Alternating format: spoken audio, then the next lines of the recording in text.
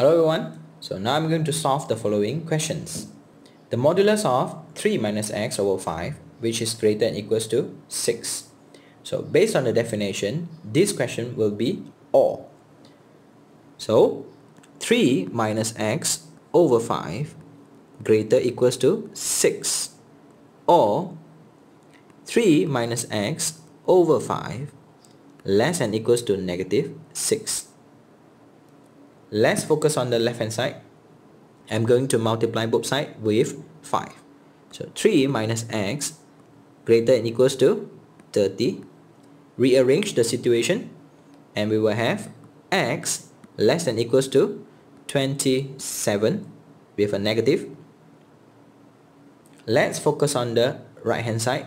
Again, 3 minus x less than equals to negative 30 and we will have x greater equals to 33.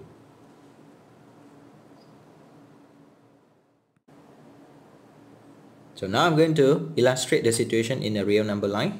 So let's plot the value. So then circle for negative 27.